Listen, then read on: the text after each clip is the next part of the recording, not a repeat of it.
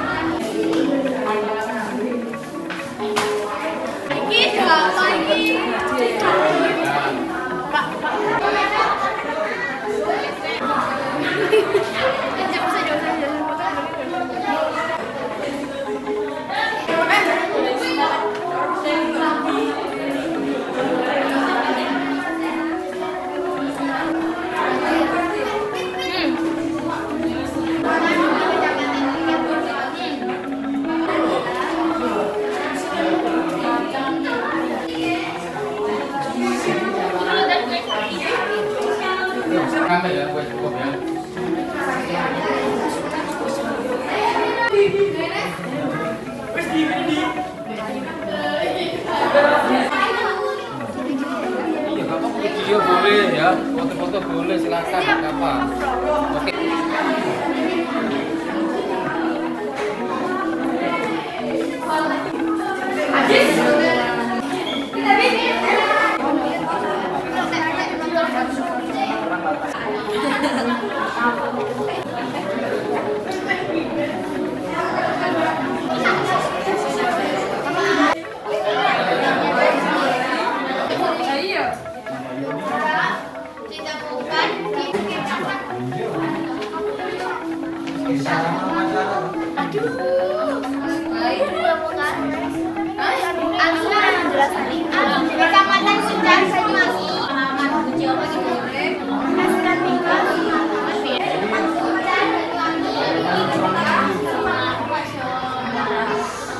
Iya.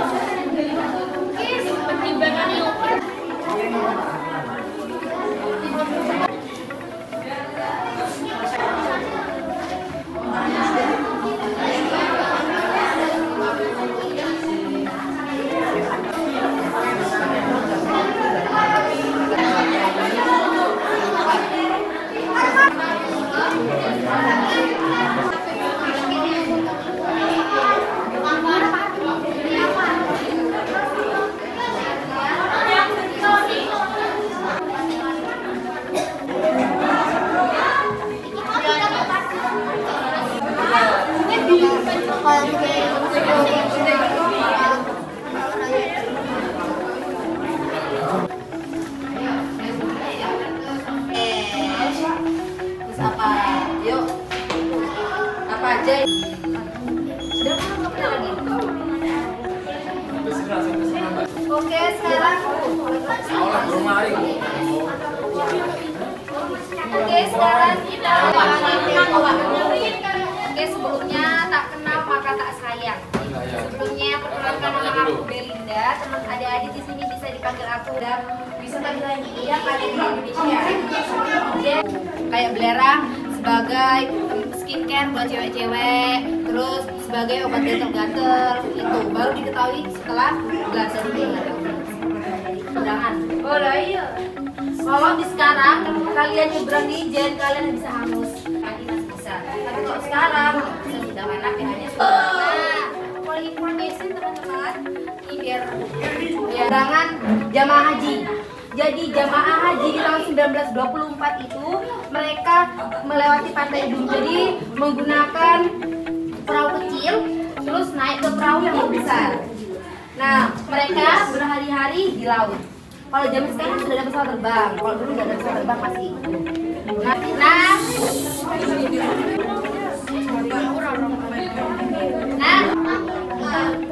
nah, kenapa kok laki-laki? Kenapa kok ada perempuan? Ya, kalian ke sini itu gak cuma nyata, jadi tahu sejarah. Kenapa? Suka sama cewek, cowok suka sama cowok. Kalau pingin, pingin ya LGBT sekarang sudah banyak. Nah, jadi adik-adik biar tidak mengetahui tersebut bisa dilihat dari kakinya. Karena kaki seorang perempuan dan kaki seorang laki-laki itu berbeda. Dilihat dari bentuk dan postur. Diketahui oleh pasukan-pasukan ganda. Jadi ibaratnya eh, gandum itu sebagai penyamar aja. Oh, Pak. Gitu. Nah, jadi pada tahun 1920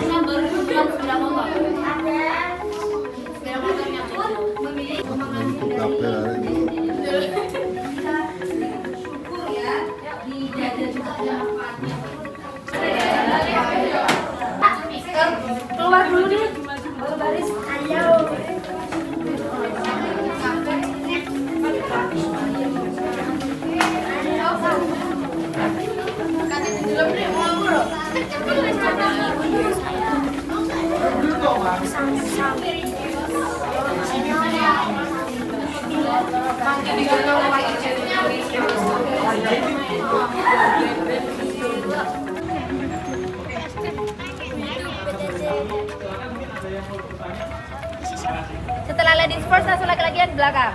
Paham? Oke,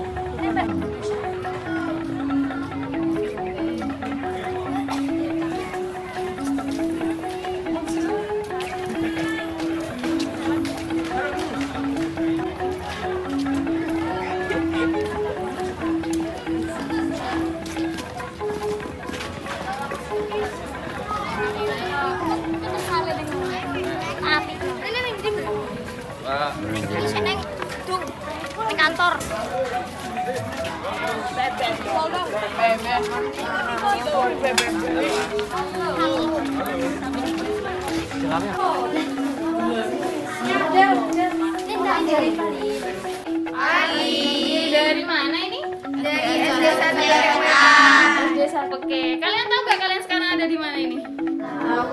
Di mana? Museum Belambangan. Museum Belambangan. Tadi di depan kita ada di Museum Belambangan. Kalau sekarang ini dan juga ada di Bondowoso. Udah penasaran? Yuk kita langsung menuju ke daerah sini. Banyak orang ya, terus Enggak. dulu. Iya, Mbak. Dulu. Boleh? Yang cewek-cewek ke kauci dulu kali ya. Jadi, eh, Ikonnya adalah apa kira-kira? Ijen Geopark. Ikonnya Ijen, betul. Nah, ikonnya adalah Ijen. Nah, Ijen ini adik-adik yang dimaksud Ijen ini bukan Ijen yang sekali ya, tapi Gunung Ijen Purba. Sangat dahsyat. Nah, sisa-sisanya masih ada sampai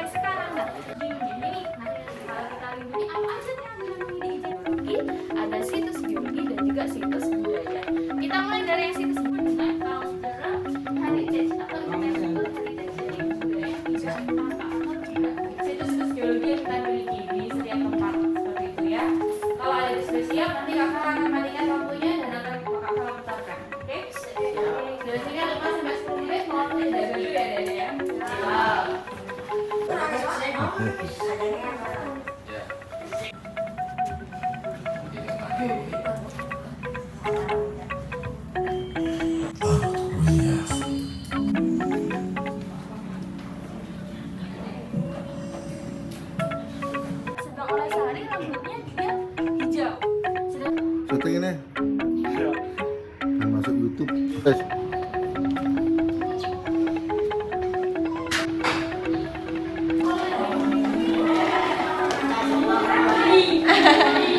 Nah,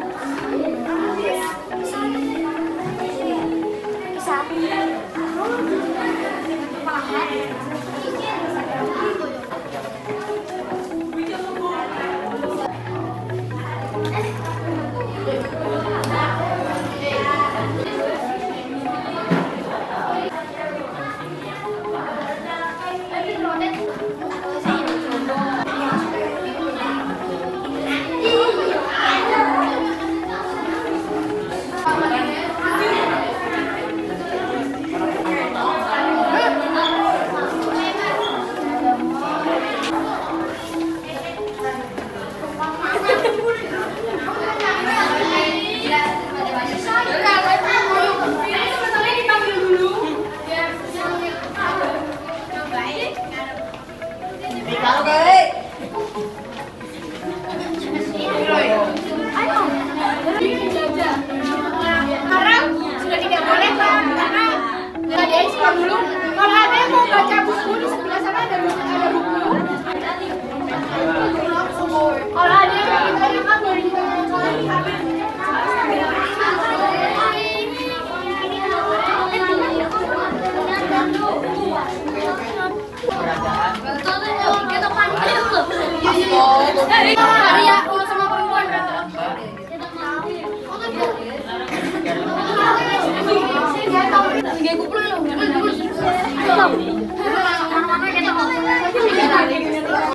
Ada-ada nunggu di sini.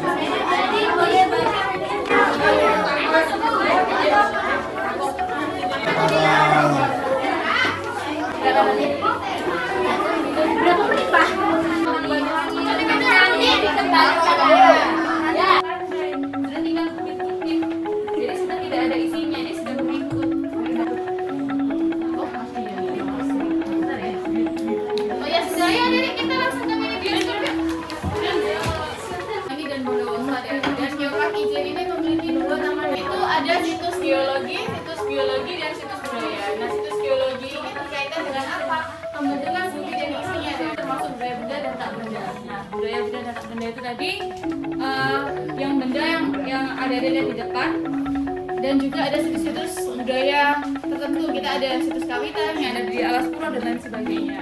Nah, kenapa sih kok geopark itu diberi nama geopark ijen adik-adik? Dua kali.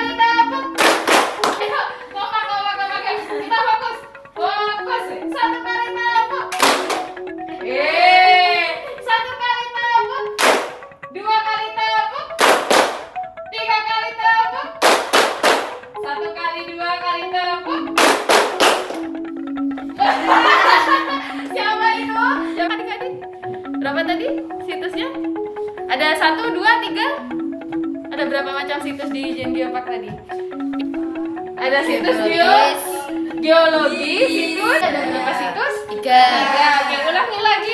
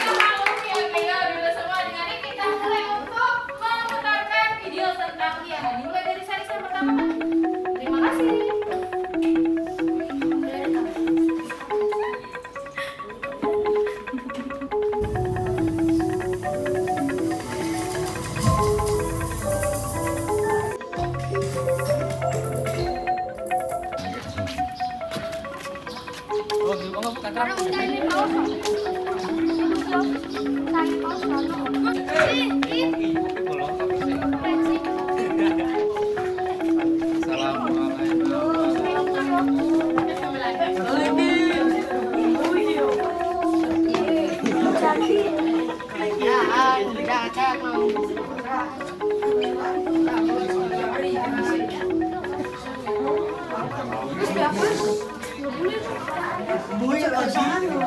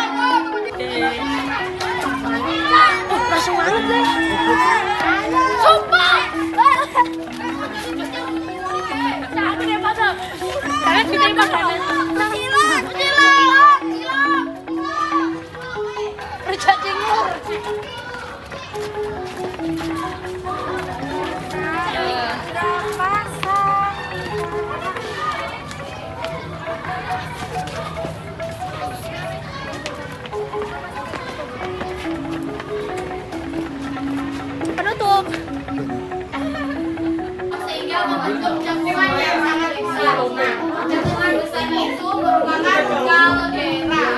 Kaldera. Jadi kaldera merupakan cekungan besar akibat letusan gunung berapi yang sangat dahsyat. Nah, di sekitar kaldera itu ditumbuhi baru salah yang sebagainya. Oke? Jadi itu adalah cara kenapa geopark dinamakan geopark Oke, tapi kita adik-adik jadul